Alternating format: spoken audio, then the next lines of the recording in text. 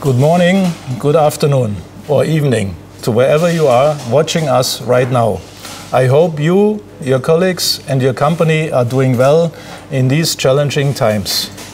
I'm in our Munich factory, right on the production floor.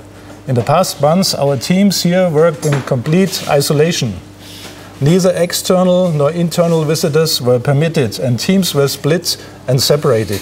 Today, a first exception was made for this special occasion. Not just here in Munich, but in Weymouth, Singapore, and Malaysia, we completely changed the way we work so we can continue building machines for you.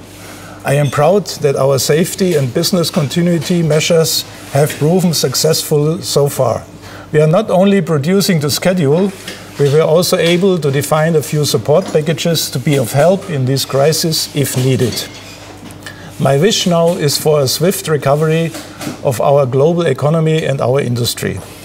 Over the past weeks, we saw a proof of concept for the integrated smart factory in many ways. Service via remote support proved vital. Thousands of ASM customers made use of the free access to our online training platform ASM Academy. Smart operator concepts supported safe working conditions in many factories. My thanks to all ASM customers. Our drive is to keep going for you.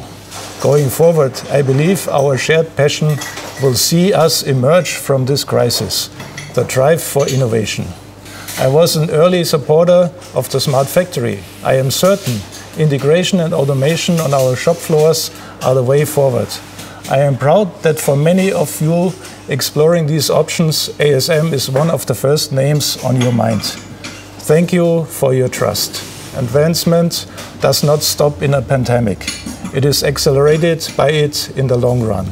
We learned some tough lessons recently, but I was glad to see ASM's core value confirmed innovation. I know there is something in the new ASM release for every one of you. A seemingly small thing can make your production better, more efficient, and more competitive. Thank you for your continued support and enjoy the live stream.